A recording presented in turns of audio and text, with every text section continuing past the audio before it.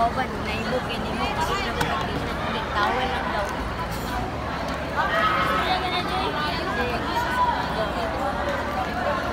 Napaga siya na.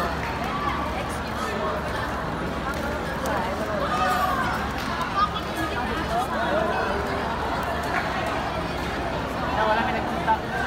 Doon sa YouTube ba? Wala ka nagpunta Ito, ano sa.